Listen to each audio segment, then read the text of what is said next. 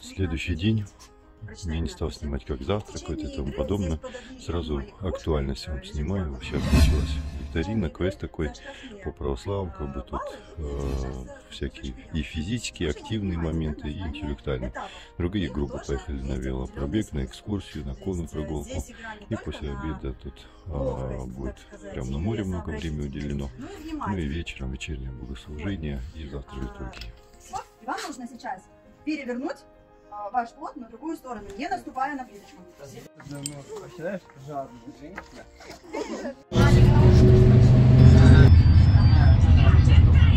Сейчас началась экскурсия по Ейску по городу, потом мы плавно придем к территории а, храма Архитектика Божия Михаила. Сейчас о достопримечательностях нам рассказывают.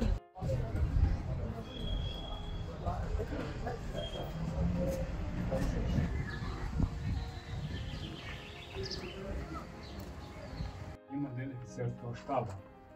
Ну, давайте рассмотрим подробнее жилищный слой. Глянем побольше. Ну, здесь вы можете видеть она довольно узкая, но написано в форме треугольничка.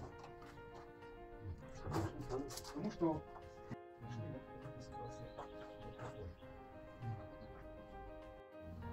В этот миг она представила себе лично против досуга. Здесь здесь играя на инструментах,